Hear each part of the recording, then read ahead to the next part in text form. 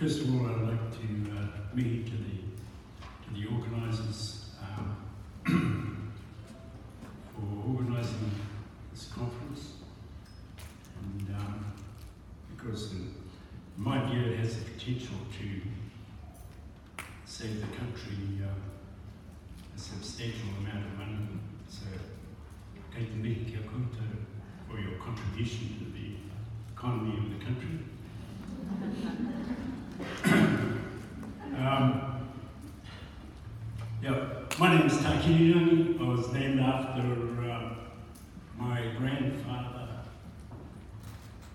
Uh, who was interested in building a, a Māori church. And so he um, chopped some trees down, had all milled, got ready for his church. Uh, but he died before that happened. Another thing that happened before he died was that my father and uh, him were having a discussion, and I was in the room at the time fiddling with things, and uh, my father kept smacking my hands. Um, and then my grandfather intervened and said, Well, you don't need to do that because that's a, an indicator, a tool or indicator, a sign that one day um, this child here is going to be a, be a carver, be a wood carver. Um, turned out, he was right. so uh, later on, I was introduced um, to do carving when I was about 11 years of age, and it sort of tracked right through um, my whole life. Uh, so, partly a lot of uh, my own individual thinking uh, has that sort of underpinning uh, behind it, because a lot of the times, a lot of time I'm sort of thinking in terms of Whakairo, particularly in, in of um, research and, and uh, analysing things.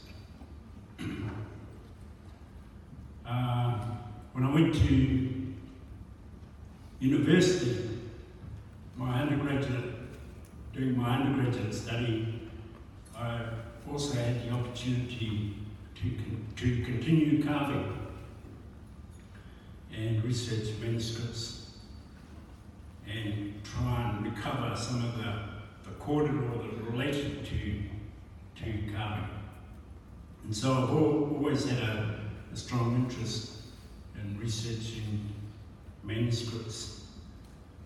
Um, and then later on, I got involved in, in uh, treaty research, and that sort of led me into studying hundreds, hundreds of uh, letters and pieces of correspondence that had been written by our, our people. So that's a lot of the bit about the about the background of my sort of um, where I'm coming from. As part of that research for the treaty claims, two words that were quite consistent in coming through coming through those hundreds and hundreds of letters. The First one was Patungako, and the second one was Pōuritanga. Patungako and Pōuritanga. And um, so I always wondered about that and how you know, this whole thing of, of which was tied to land loss. And I wanted to analyse that a bit, a bit further.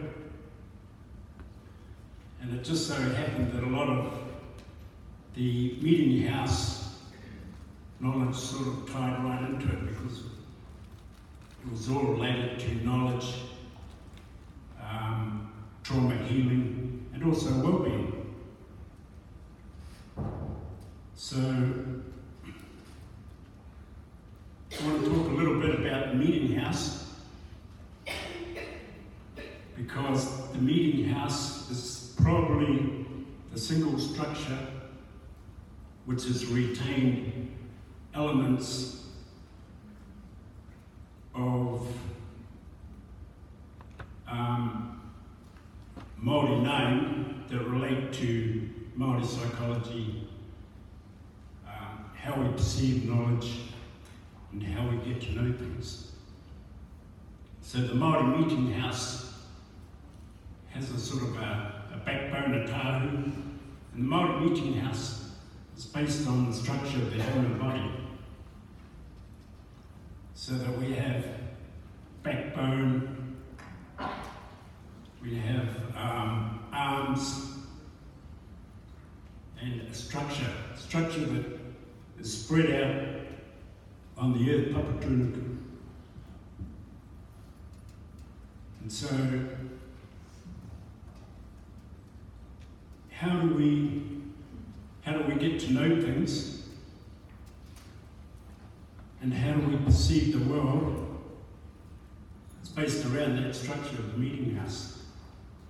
If we relate it to the human body. Um, the the um, human body, the human body,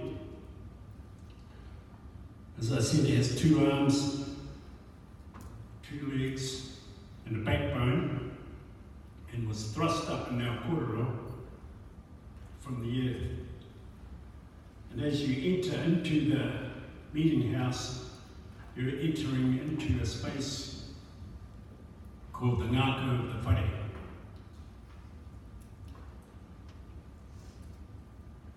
And so, in a lot of our traditional kōrero, how we get to know things is not through the mind, but comes through the ngako because in the traditional stories of um, knowledge is that the head, human head, has two parts, which is related to atua knowledge, atua, and kauae raro knowledge, ira tangata.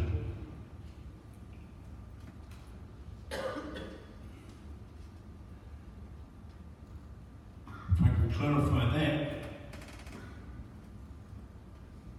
these two aspects of knowledge uh, is that in terms of knowing anything, we don't really know anything until, as humans, until it hits the ngako. And that knowledge itself is externally perceived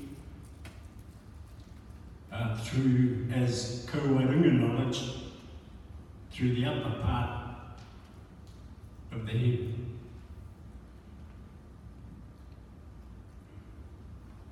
Um, the one exception of that, of course, is that when we hear things, comes through the ears, which is related to uh, rongo, Māori term for um,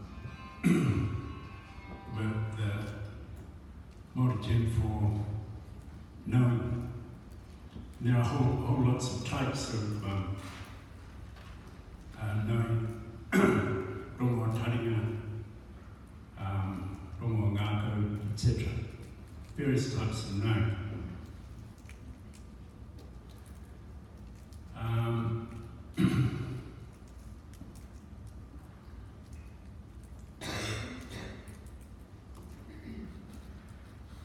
so,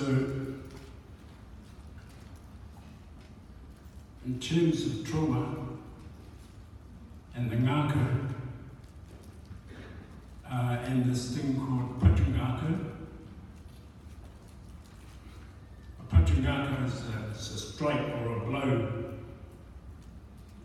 to the ngaka, li- literally an attack, assault on the ngaka, either psychologically or, or physically, which leads to an effect. And a patungaka uh, can be carried generations. Um, how does it get passed over from generation to generation? Well, this occurs through tohu. Um, tohu are signs and indicators. Um, they're also a term in, in whakairo, know, where you have to put if, you, if you're trying to put a, a cord or about a, a on a piece of wood, ideally you've got tohu to work with signs and indicators. Um, but tohu are also signals and actions which can be transmitted either you know, verbally or, or non-verbally. And if you go to um, um, just the other day, I was walking in Cannons Creek, Porirua, um, passing what looked like a homeless guy, and he looked at me, I looked at him, and I went like that with my eyes, and he went, you know, that's a, that's a sign or an indicator. Jumping on the bus, and now there's Nyland driving, looked at me, and I went, now those, those ideas of, of non-verbal tools. But these non-verbal tools can also transmit o te ngākau. No, and, and it's carried on intergenerationally. Uh, when a when a kaumātua takes their mokopuna to a trauma site, you know, where there's something's happened, something really traumatic has hap- happened. The all those actions and all those behaviours, the tongue and whatnot, um, will transmitted to the mokopuna as a tohu. Uh, when I was growing up as a carver, as a wood carver, my father introduced me to, to the kuia that had brought him up. Couldn't speak a word of English, and it was her first time out of Tolaga Bay. She was about 90 years of age or something. And my father introduced uh, this kuia to me um, as a as the wood carver. He's the, he's the carver. And um, his kuia just grabbed me, held me, and then just wept, just bawled. Bawled. And then I thought it was all over after about 10 minutes. And then I tried to break away, and then she grabbed me again. And then just sat started up again. And this carried on for about half an hour. So that's a tohu. That's a tohu about the importance of, of whakairo to them being passed uh, intergenerationally. Um, yeah, so that's how Patungako is transmitted inter- intergenerationally. And so, the other thing that happens here, the analysis of Patungako doesn't occur in the mind. So you can't examine and say, oh, you know, I really understand what's going on because I've studied up here. You can't do that. You've got to study over here and here. Now it works. Works in that manner. Um, so I won't um, sort of go on too long uh, because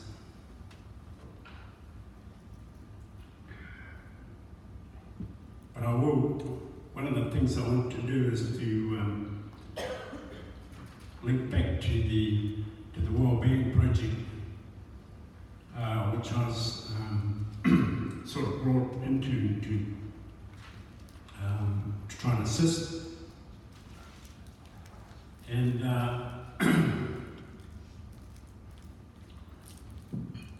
one of the important things that came out of that is the idea of, of reconnecting.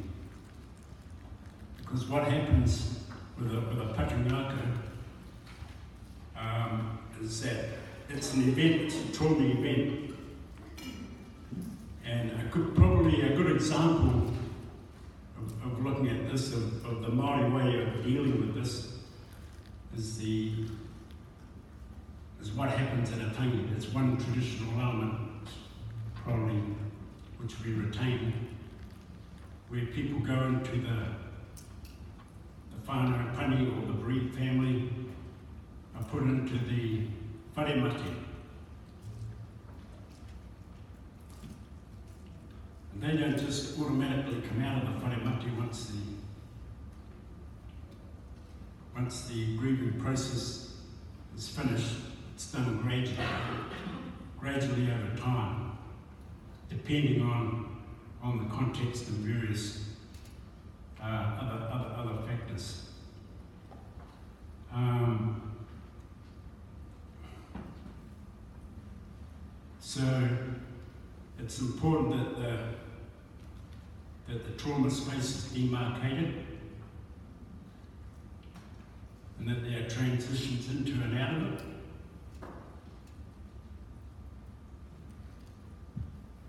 Um, and another key thing about it is how we come out of it and reconnect to the to the living world. How's that done? Well, it's done through poroporoaki. and you, you're farewelling the event. And will be, may not be done depending on the context, may not be done um, too sharply because note the word there, puro puro, you know, gradual cutting off over time. Um,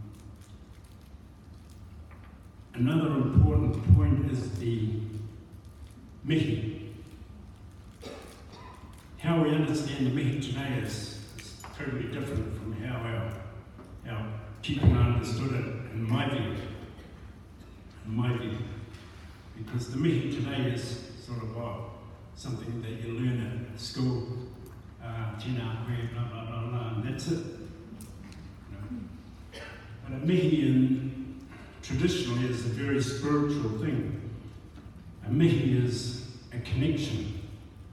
It's about connecting through whakapapa and connecting through through kōrero. It's an acknowledgement and a living connection. Um, today we sort of quite generally restrict the um, to you know, formal occasions. Um, but at Tupuna, will meet everything. Know, the sky, the earth, the sea, sound of the water, the sound of the birds, um, everything, connecting the, the world through a living, vibrant um, essence, I suppose. Uh, yeah.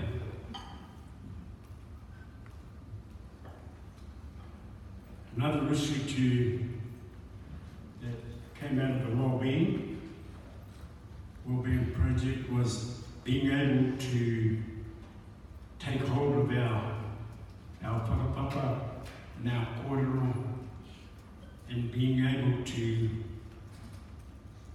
redefine it on our own terms. Not being, being, being defined by by other by other people or other or um, from outsides, but really owning your own and owning your own kōrero and being able to define it in meaningful ways um, that can be passed on for your tamariki Um, to me, that's just another part of uh, Rangatira. I think it was pretty well normalised uh, to our tupuna. Like I know um, uh, one of our tupuna in uh, Wairarapa, it's called um, Tumapuia. Tumapuia had a couple of from South Island.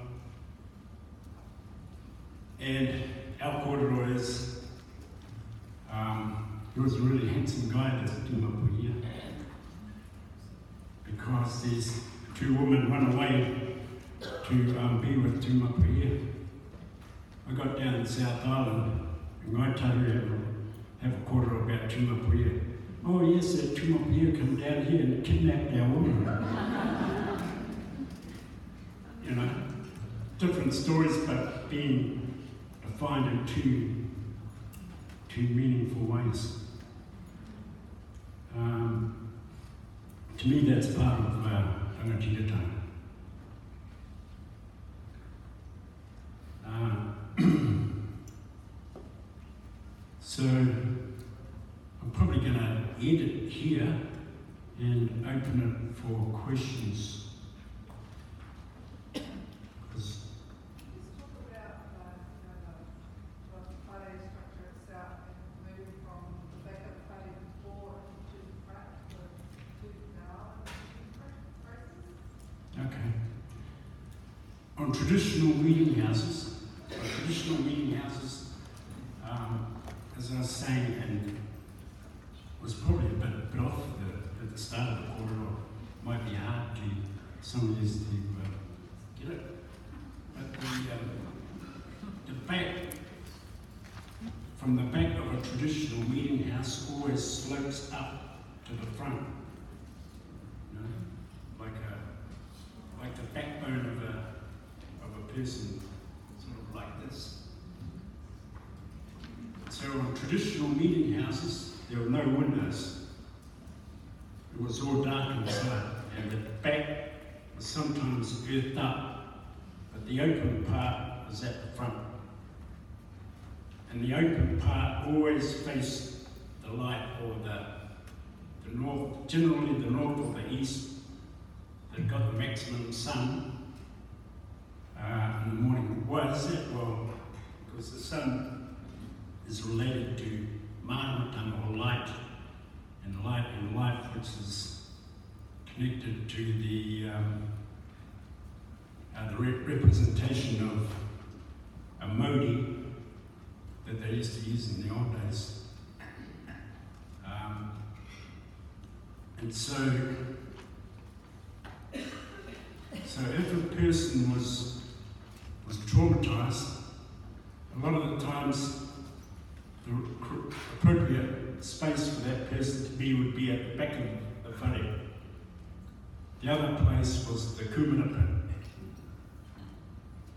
where, um, which is tied up with stories around Rongo. But that the areas of darkness, they're known as being areas of darkness and peace. And so that's where uh, um, a lot of uh, people afflicted with trauma would, would go to. The, the interior of the whare, of course, is known as the ngako, and the, the front area of the, the porch area of the, the the, the mahau, um, sometimes referred to as the roro or the, the brain. Now, the interior of the whare is connected to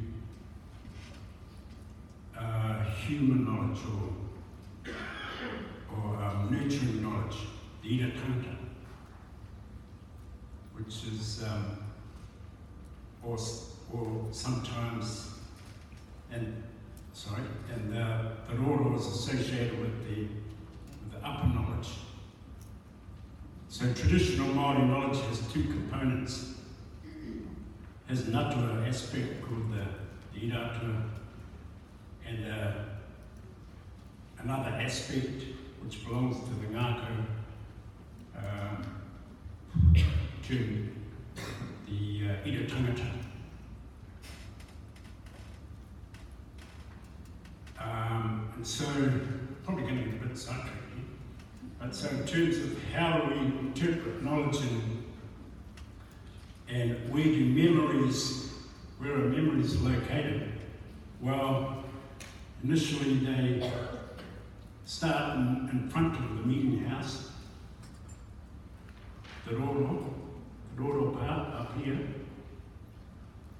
but it's transferred and located to the to the ngako. So memory, human memory, is located in the ngako. And event, when a traumatic event occurs, might be processed through here, but it's located in the ngako. There are other ways of, of it entering the ngako as well, but um, just for the purpose of, of this quarter. Um, and so when we have, in terms of um, cognitive activity, when we have a thought, where do we recall our thoughts from? They're recalled from the ngako as a, as a maha or as a, as a memory. Um, so that's where the where the where the memory is located, and that's why the ngako is, is so important. Um, so when you're approaching, in terms of Māori trauma, the approach from uh, analysing the mind and zeroing in on on the brain is really only one part of it. There's a whole miss uh, element there. So, um, probably sidetracked again. We'll see what you-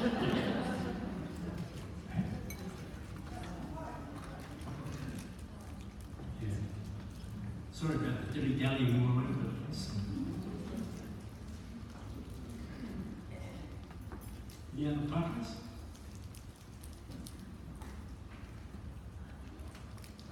Kia ora. Um, you spoke of the Ira Tangata as being like Hawairanga. The Kawairanga? Kauae runga. Yeah, um, Kauae runga, if we look at the, um, the human jaw, human jaw, it's a branch of knowledge which is associated. Uh, uh, with, with the Ira, Ira Atua. But that knowledge is transient knowledge. And it, but it's also the storage place for, for Atua knowledge, which doesn't become full human knowledge until it's located in the, in the ngaka. And the, the Tangata knowledge is the lower jaw. That's the importance of the pukawai on the, jaw.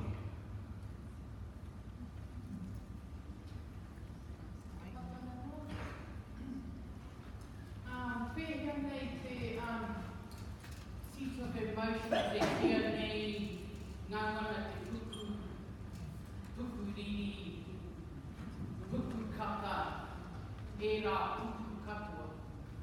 Oh, yeah. Um, e, you know, te whakawhiri, Yeah. Yeah.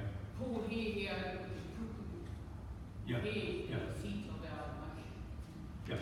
Um, um, well, the ngaka. So um, in terms of cognition, you know, like in the mind, know, the Māori mind, the cognitive activity is tied up with, is tied up with the ngaka. When, when we when we say the equivalent of a thought, like whakaaro, whakaaro, we don't see the whakaaro of the brain. We say the whakaaro of the ngaka, because that's where the memories are located.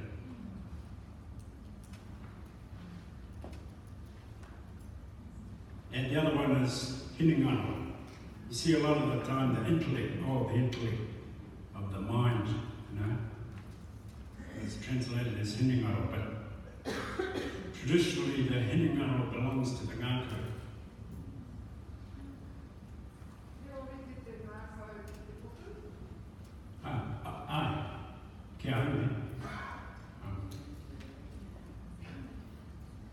Although the, the seems to be the, the more common term, like in traditional evidence. So that's in the writings that you, um. Yeah, Yeah, but yeah, but occasionally puku, Yeah. occasionally puku is used, yeah. Yeah, I thought that Yeah, I think that the key, the, key- the key thing that for me is that you know, it's not brain centered.